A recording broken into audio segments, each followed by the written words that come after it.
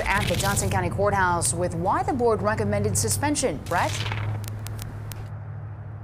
Late this afternoon, the Judicial Discipline and Disability Commission, the executive director, filed a motion with the state Supreme Court asking the court to rule that immediately to suspend Circuit Judge William Pearson. Now take a look at this video. This is Judge Pearson.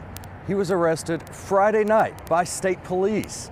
Police say he failed to stop at a sobriety checkpoint and then made police chase him. He was arrested here in Clarksville. Right now, he's facing charges of driving while intoxicated, reckless driving, as well as failing to submit to a chemical test, and a felony charge of fleeing. Now, I, the, we're expecting the Supreme Court to rule tomorrow if Judge Pearson will be suspended. As we come back live here in Clarksville, we can tell you that yesterday I spoke to Judge Pearson on the phone, but he would not tell me if he has any plans to resign and he would not talk about his arrest. Now we can tell you Judge Pearson handles all criminal cases here in Johnson as well as Pope and Franklin counties. And here in Clarksville on Friday, they're set to have criminal hearings.